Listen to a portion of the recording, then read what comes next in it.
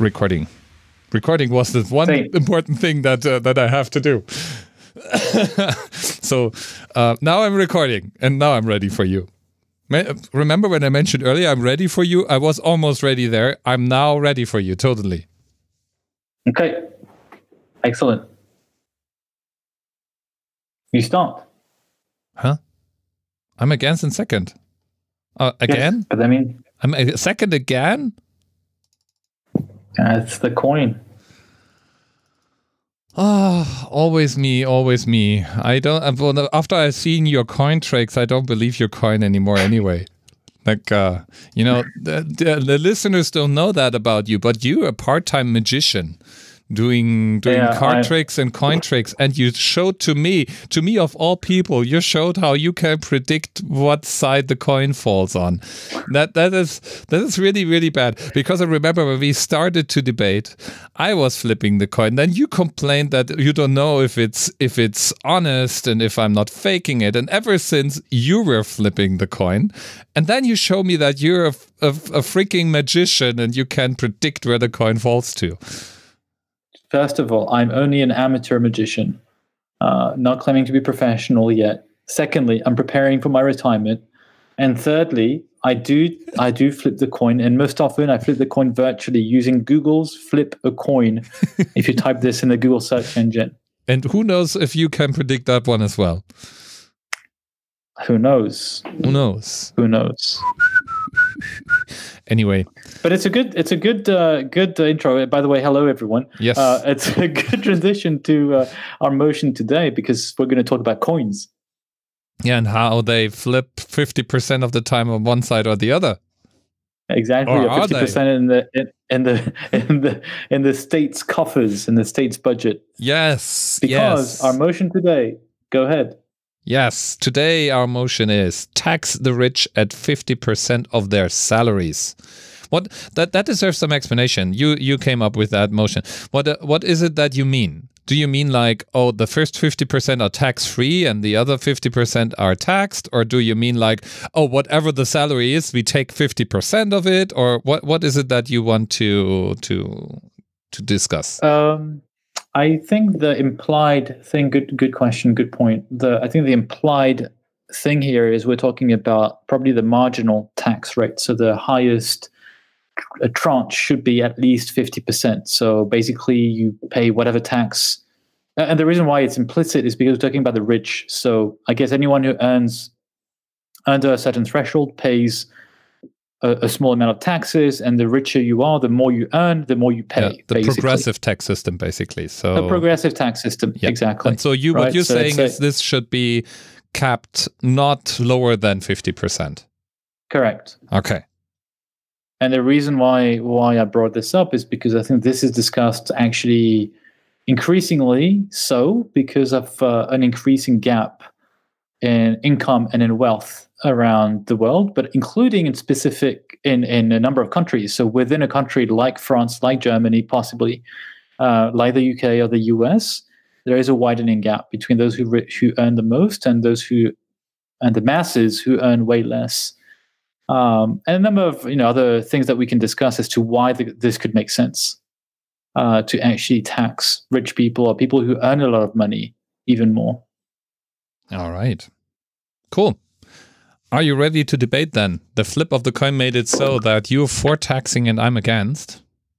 Correct. So let me put my little timer, and we'll start with my two minutes here. Okay, let's do this.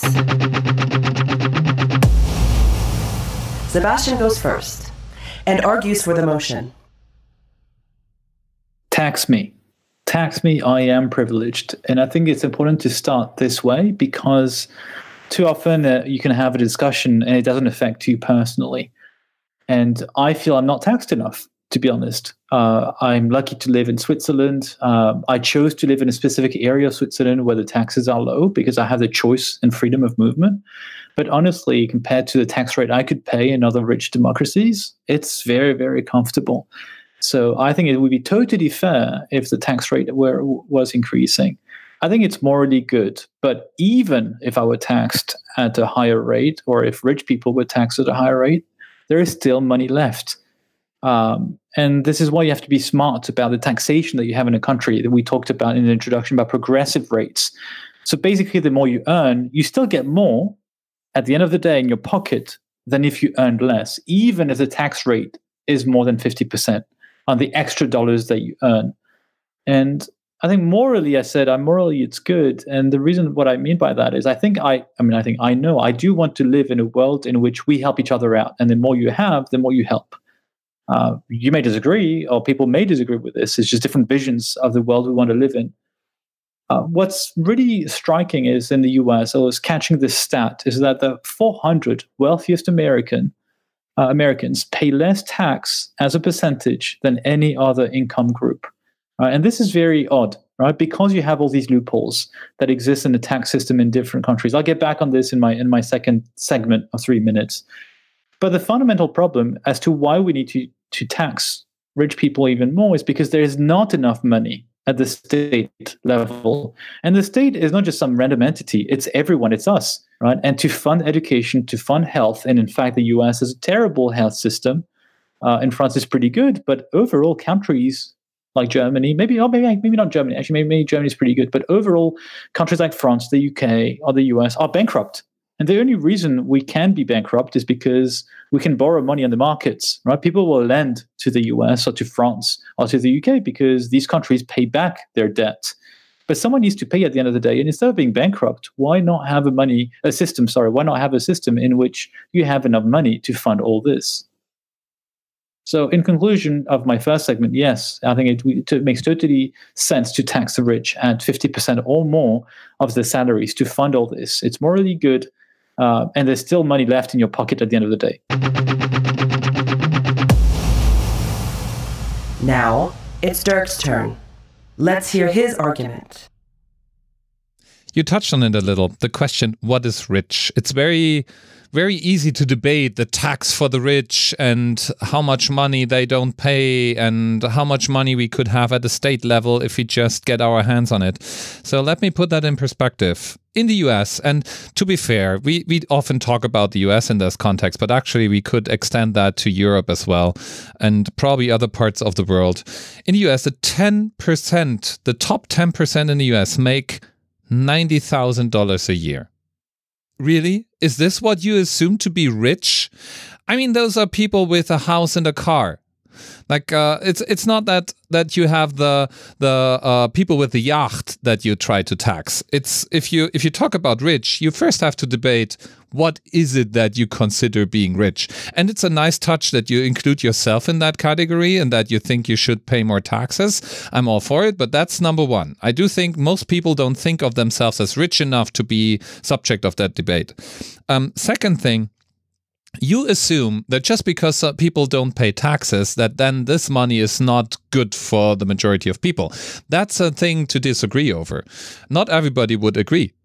Uh, first off, it's not a given that the state is the best place to uh, to spend the money wisely. Second, not everybody who's rich, even the billionaires, um, sometimes have very good track record on actually spending money in large sums, sometimes larger sums than any state could, on good causes.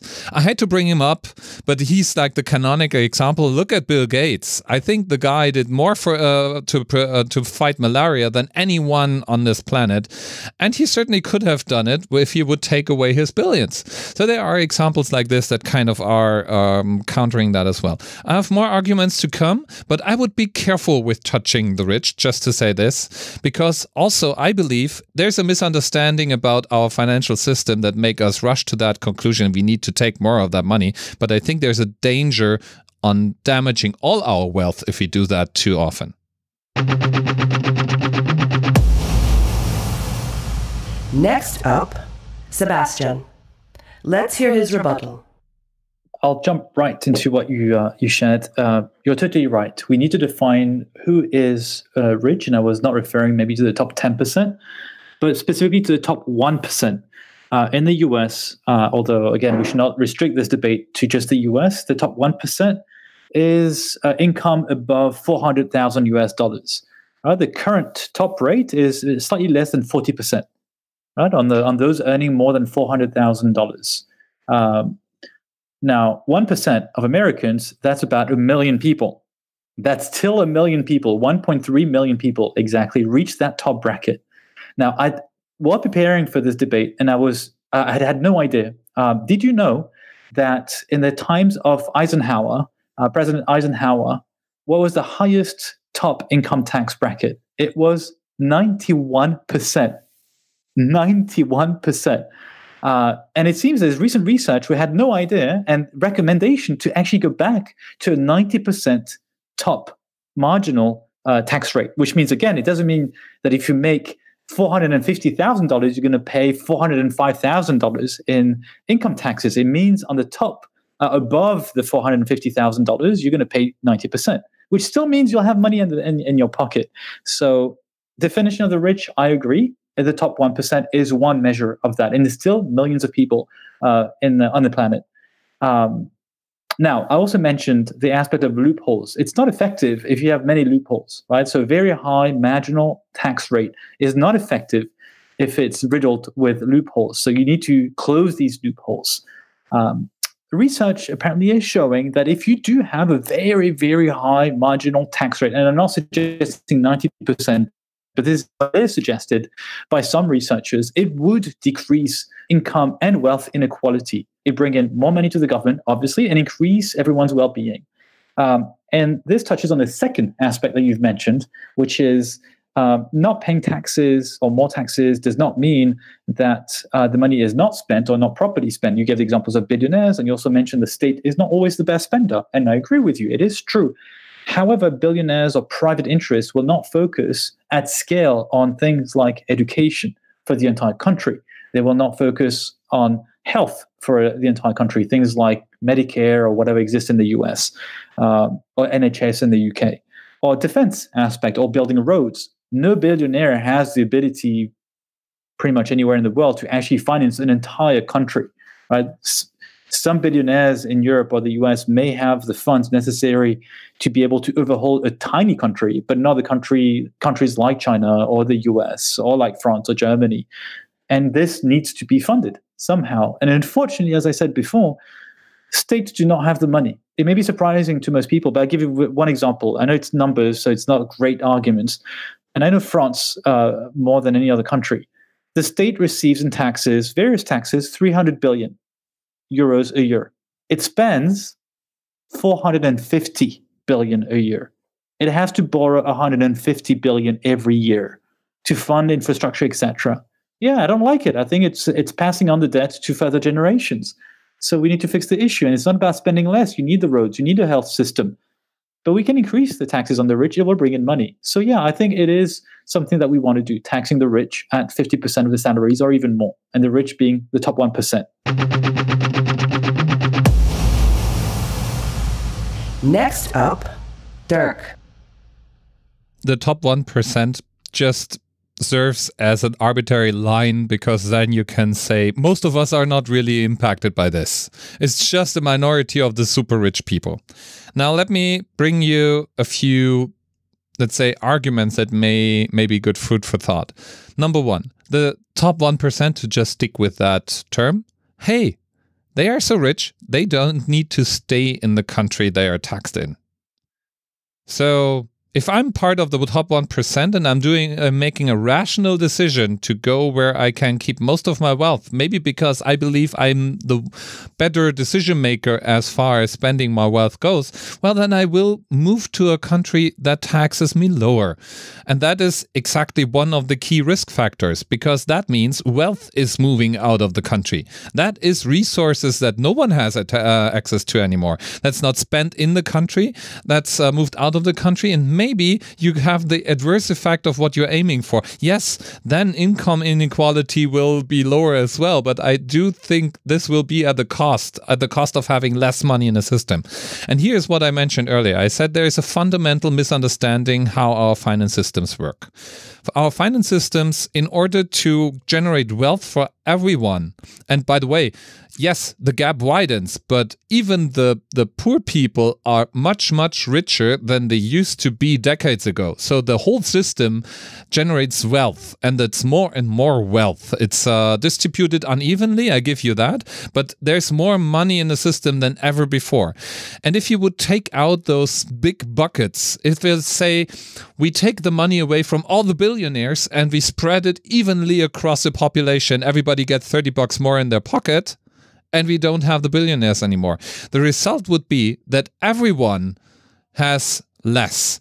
So it's about shrinking and growing the cake and it's not about shrinking and growing the sizes of the cake, uh, the pieces of the cake. And I think this is a core misunderstanding. If you take away the wealth of fast spending billionaires, of big corporations, there there are plenty of places you could look for larger amounts of money, and you would give it in the hands of the state to distribute it. What you do is you're basically damaging markets and capitalism at its core. Now, ideology, ideologically, you could say, yeah, that's perfect. I don't want to have capitalism ruling the world. But the fact of the matter is, that's the number one system that understands or that works in distributing wealth and demand, and we don't have a better system yet. All the other attempts failed miserably and generated uh, poverty for everyone. So I would say it's that dangerous to tax the rich and wealthy at too high a rate. And we can argue about the right percentage, and maybe the case can be made for 50%. I don't know. But I do think the sentiment alone is dangerous because it's playing to envy, it's playing to the feeling, oh, I don't have what I deserve. Why are they rich? Where this is basically a natural outcome of the system we live in that right now generates more wealth, more food, more health across the globe than any system in human history before.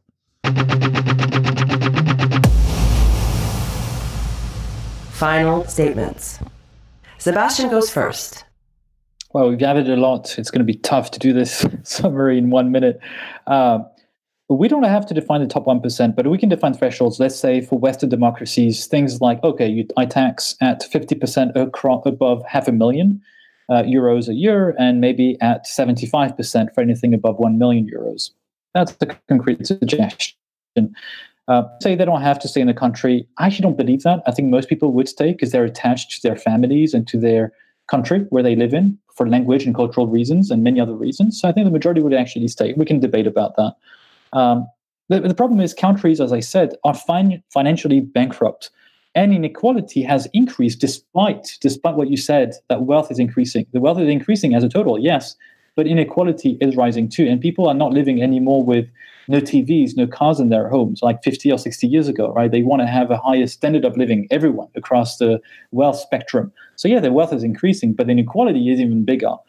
Um, but we're not talking about taking away the, the money that is accumulated by billionaires, right? I'm not talking about wealth tax, but income tax. So anything you earn above a certain threshold is taxed a little bit more.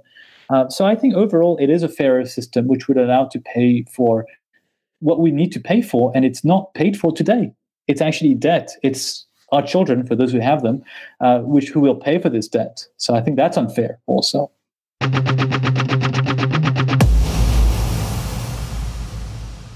Dirk. You're right. There are things that need to be paid for that are not paid for yet. Uh, I don't think that will go away if you take more money from the rich. Um, basically, what that would mean is changing prices, changing priorities. And hey, the easiest way to pay for the things we need to pay for is to pay a little bit less on the military side. That's my personal opinion, though. There's plenty of money. If you even if you take, let's take ten percent of the military budgets of all the countries and pay uh, for schools instead. How much better would that be an investment? I I don't care. I do I do think there is there's enough money actually to do what's right. There's not enough money to do everything governments want to do. I agree.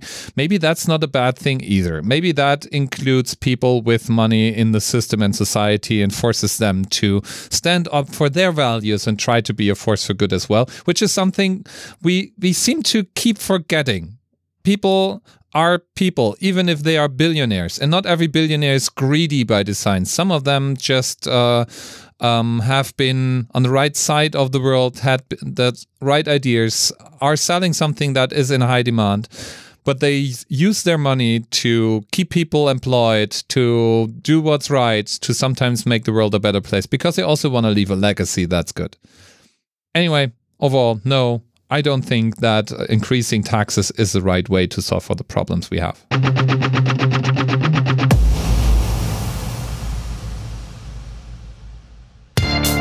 Having said that, now that we've finished with the debate, if you pay less taxes, you can you can buy more photo cameras.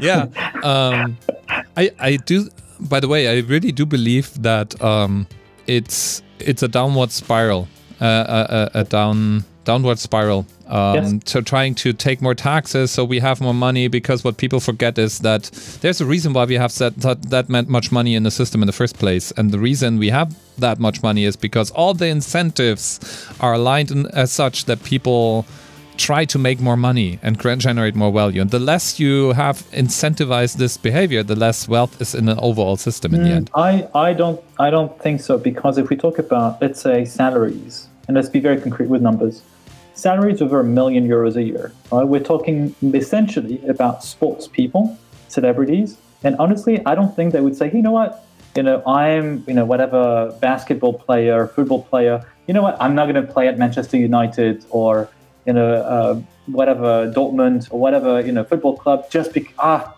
I don't want to get taxed. I'm I'm I will stop my career. I will go back and you know work at you know in a supermarket instead no, or a desk job. That's not what I, I said. Think, I don't think they need an incentive. I don't think they need the incentive or entrepreneurs even. I think, it, and, and, by the way, it's only for a few years. Yeah, but uh, this, I'm right? not. They would be taxed. I'm not talking about the individuals. No? I'm talking about the larger system. So we have a market, we have a we have capitalism, we have a system that generates money. And if you you're not talking about the the, the individual soccer players, although we can have an argument over whether or not they are worth the money. Um, we, I'm talking about the overall system where you have incentives aligned in a certain way and right now the incentives point towards generating more wealth because you can and the last. But I don't think because I'm trying to think which system are you talking about? Because I'm not talking about corporate tax. I'm talking about income tax, personal, yes. individual. But that you know, if you if you make more than a million a month, you're investing that money. A, year. You're buying or uh, a year. You're you're buying you're buying stocks. You're you're maybe having your own business. So it uh, it, it becomes it's a slippery true. slope because then then how do you, you define the loopholes that you wanna wanna keep closed? You wanna keep taxing those people um, so I, I, would, yeah, it's it, it's a fair point, but I would close all loopholes, and because they would still spend the money. but the super rich don't get a salary at all. I mean, Larry Page famously gets one dollar a month, isn't it? That um, what he gets as a salary, or was it Eric fair, Schmidt? But, I forgot. But I, uh, uh, yeah, that's fair. There, there's a discussion about wealth tax, but we focus on income, right? So we talk about the the actual majority of the people who have a job and not about billionaires, which I think is another debate. And I wonder if we actually talked about it at some point. Um, but it's true. This is an, another loophole. Like if if you don't if you if you can live off your dividends, then it defeats the purpose. But again, this is I think there's an there's a connected debate, but another one about income. My point being is the income that you take that's not sitting you're not you're not uh, putting that in in your pillows and sleep on it. You're putting it in a bank account. You're buying stuff with it. You buy a fancy camera or a TV set or anything like it, and um, that generates taxes and it generates further incentives for the system to generate additional goods, additional services, and whatnot. So taking the money off the market uh, um, if you will, by taking it into into the governmental system and then spending it less efficiently. I'm not convinced that this really solves for the larger problem we set well, out to that, solve. That yeah, this is why you have left wing and right wing, you know, sides, because this is essentially a, what you said at the root of, of capitalism. Yes. Uh, and whether you want to regulate it or not. So this is where I would disagree because we have a well functioning state system in Switzerland, for instance. And I think in Germany is pretty good too. Yes, I, but I, I have confidence in the German system to actually give more money to the state. Uh, in fact, I feel they're not even spending enough. Right, this is the criticism the government is getting in Germany, and not taking advantage of the very low uh, debt uh, interest rate, in fact, the negative interest rates, to actually invest in infrastructure. Right, and it seems that S-Bahn in Germany, the train system is you know, in in decaying mode, and there should be an overhaul and an improvement of the system be- before you know you have a recession or before you know the money gets more expensive to borrow. So I think I think you know for, for governments like Switzerland, like Germany, to a lesser extent France and the UK, I, I do trust that system or that government to actually spend it wisely. With with with caveat, with caveat, the caveat that you rightfully mentioned, the defense, the military, for instance, right? It is the third biggest uh, in France because I know the, the, the state budget better there. Do you know that the first uh, expense for the state is education, paying teachers in schools? The second, the interests of the debt.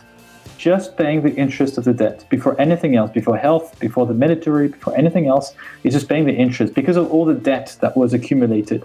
The third expense, the military, the defense. Indeed, if you don't have an army, or, you, or we discussed this uh, previously, if you have a joint European army, you can probably reduce expenses on that on that I, aspect. I have a question for you, and that may be worth separate debate. But uh, Ryan, uh, uh, hypothetically, hypothetically, imagine we could all just we could all just go deeply into debt and use that money to solve the climate catastrophe.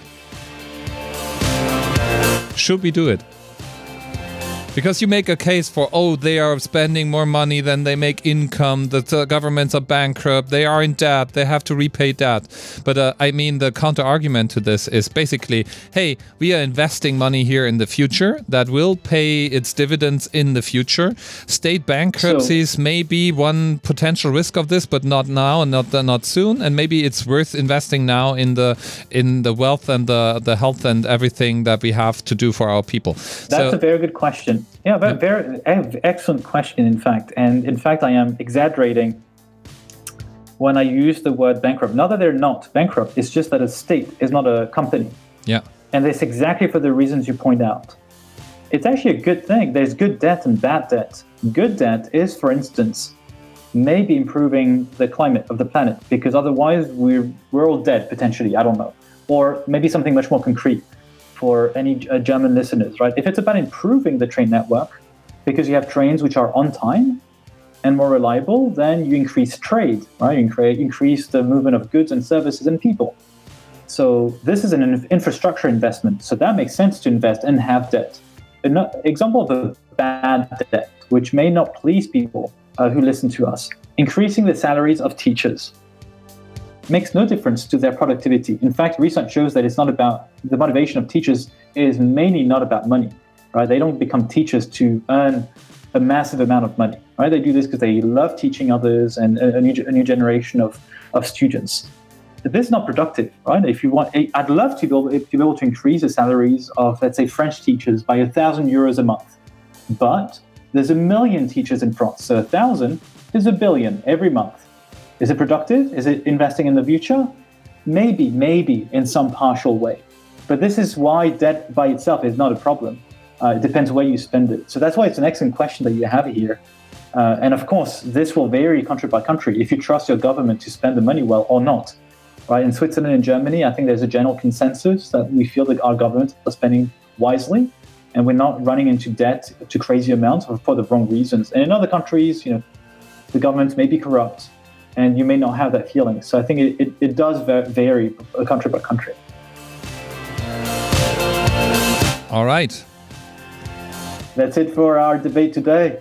We Hot had, topic. We had a beautiful one today. I enjoy debating with you as always, Sebastian. Thank you very much. Thank you to you, and thank you to our listeners who are patiently and kindly uh, listeners listening to us from around the globe. And if you're on our teams, uh, at Google, thank you to you. Special thank you to you because we've heard recently that you are listening to us. So we're watching you. No, just kidding. We don't even know exactly. Well, we can we can drop secret hints to things in the like like uh, Easter eggs or such. Easter eggs, yes, yes, and and give bonuses if they if they catch. Oh, beautiful. Maybe that's a future debate. All right. Thank you so much. Thanks, Thanks Sebastian. Thanks again. Bye. Bye bye.